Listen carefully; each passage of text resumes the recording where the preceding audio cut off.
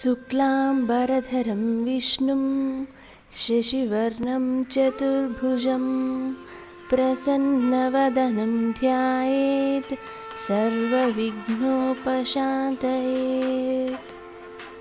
एकदन्ताय विद्महे वक्रतुण्डाय धीमहि तन्नो दन्तिः प्रचोदयात् ముందుగా ఇన్ఫర్మేటివ్ హబ్ కుటుంబ సభ్యులందరికీ వినాయక చవితి శుభాకాంక్షలు. ఫ్రెండ్స్ నేను ఈ సంవత్సరం చాలా చాలా చాలా సంతోషంగా ఉన్నా. ఫ్రెండ్స్ నేను మీకు మాటల్లో చెప్పలేను.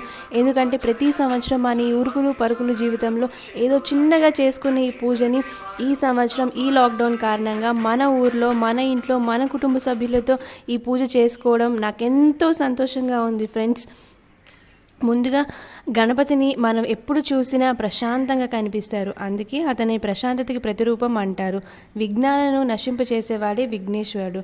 అందుకే మనం ఏ కార్యక్రమం మొదలుపెట్టినా ఆయన ఆశీర్వాదంతోనే ప్రారంభిస్తాము. ఫ్రెండ్స్ నేను ఈ వీడియోలో మీకు మూడు విషయాల్ని చెప్పాలనుకుంటున్నాను. మొదటగా గణపతి యొక్క పుట్టుక గురించి మీకు చిన్న కథని సంక్షిప్తంగా వివరి వివరించాలనుకుంటున్నాను. రెండవది వినాయకుడి యొక్క రూపం గురించి మీకు చిన్న విషయాన్ని చెప్దామనుకుంటున్నాను. మూడవది మనకి వినాయక చవితి రోజు ఎందుకు చంద్రుని చూసే నీలాప నిందలు వస్తాయి అనే విషయాన్ని మీకు సంక్షిప్తంగా వివరించుదాం అనుకుంటున్నాను మొదటిగా ఫ్రెండ్స్ నేను మీకు గణేషుని జన్మ కథని వివరించాలనుకుంటున్నాను. ఫ్రెండ్స్ నాకు తెలిసి మీ అందరికీ ఈ- ఈ విషయ ఈ కథ తెలిసే ఉంటుంది. కాకపోతే మన ఈ వినాయక చవితి రోజు మళ్ళీ ఒకసారి మహాగణేశుని జననం గురించి గుర్తు చేసుకుందాం అని అనుకుంటున్నాను ఫ్రెండ్స్ మహాశివుడు పార్వతీదేవితో కలిసి కైలాస పర్వతనందు నివసిస్తూ ఉండేవారు. పార్వతీదేవి ఒకరోజు అభ్యంగన స్నానానికి వెళుతూ ఉండగా ద్వారం దగ్గర కాపలాగా ఉండడానికి ప్రమద గణాలు అందరూ శివునితో పని మీద వెళ్ళేసరికి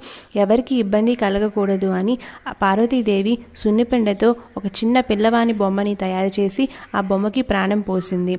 ఆ పిల్లవాణిని గణేష్ అని నామకరణం చేసింది. ఆమె స్నానానికి వెళ్ళేటప్పుడు ఇంటికి కాపలాగా ఉండమని అతని అతనిని ఆదేశించింది. ఇంతలో అక్కడికి మహాశివుడు వచ్చి లోపలికి వెళ్ళడానికి ప్రయత్నించగా గణేశుడు లోపలికి వెళ్ళాలంటే అమ్మ ఆజ్ఞ లేనిదే వెళ్ళడం కుదరదు అని అన్నారు. ఇంతలో శివుడికి ఆగ్రహం వచ్చి ఆ, గణేశుని యొక్క శిరస్సుని ఖండించారు.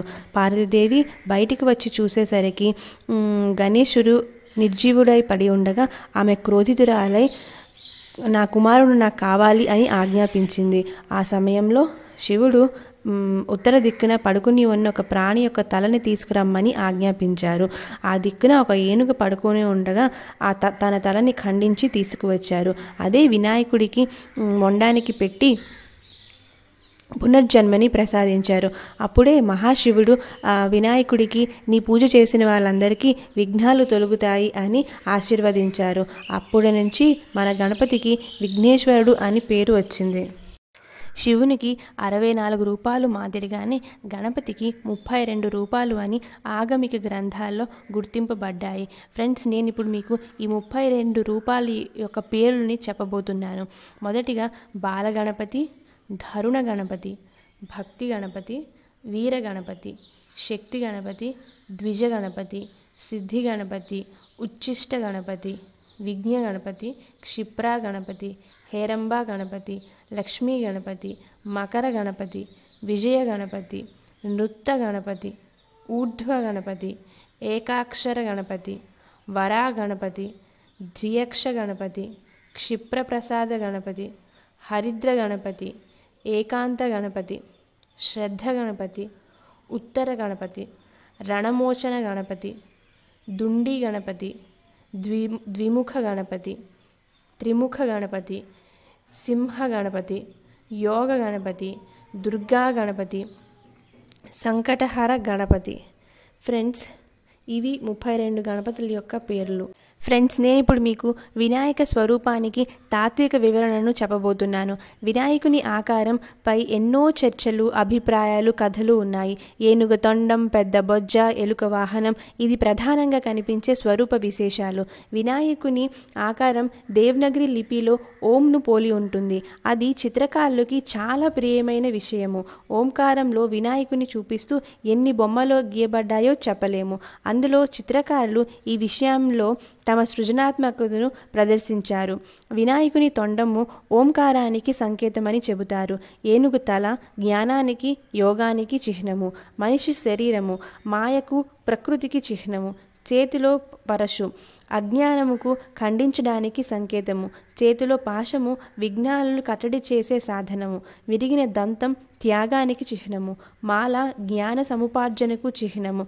పెద్ద చెవులు మ్రొక్కులు వినే కరుణామయుడికి చిహ్నము పొట్టపై నాగ నాగబంధము శక్తికి చిహ్నము ఎలుక వాహనము జ్ఞానికి ఎన్ని అన్ని జీవులు పట్ల సమభావం ఉండాలి అన్న విషయానికి చిహ్నము ఫ్రెండ్స్ సో ఫ్రెండ్స్ నేను ఇప్పుడు మీకు వినాయక చవితి రోజు ఎందుకు చంద్రుడిని చూస్తే నిందలకు గురవుతామో అన్న చిన్న కథను వివరించాలనుకుంటున్నాను ఫ్రెండ్స్. గణాధిపతి అయిన వినాయకుడు లోకపూజములు అందుకొని పుష్టిగా భోజనం చేసి కైలాసముకు తిరిగి వచ్చి తల్లిదండ్రులు ప్రణామం చేయబోయాడు. కానీ బొజ్జ కారణంగా ఇబ్బంది పడుతూ ఉంటే అది చూసి చంద్రుడు పక్కపక్క నవ్వారు. ఆ నవ్వును చూసి క- పార్వతీదేవికి కోపం వచ్చి నిన్ను చూసిన వారికి నీలాప నిందలకు గురవుతారు అని శపించింది. ఫలితముగా లోకంలో చంద్రుడు నింద్యుడయ్యాడు అతనికి చూసిన వాళ్ళందరికీ నిందలకు గురవడం తప్పలేదు. చంద్రునికి కలిగిన శాపము లోకానికి కూడా శాపమైపోయింది అప్పుడు లోకులు అందరూ పార్థదేవికి ప్రార్థించగా వాళ్ళు ప్రార్థనను మన్నించిన దేవి భాద్రపద శుద్ధ చవితి అనగా చ- వినాయక చవితి రోజు మాత్రమే ఈ శాపం వర్తిస్తుంది అని శాప ప్రభావాన్ని సడలించింది. ఆ రోజు మాత్రం అందరూ జాగ్రత్తగా ఉండాలి ఫ్రెండ్స్. ద్వాపర యుగంలో కృష్ణుడు పొరపాటుగా చంద్రుని చూసినందుకు ఆయనకు కూడా శమంతక మణిని అపహరించారు అనే నిందకు గురవ్వాల్సి వచ్చింది. శ్రమించి కృష్ణ కృష్ణుడు అసలు విషయాన్ని రుజువు చేసుకున్నాడు అనుకోండి కానీ శక్తిహీనులైన మల్లాంటి సామాన్యులకి ఇది ఎలా సాధ్యము?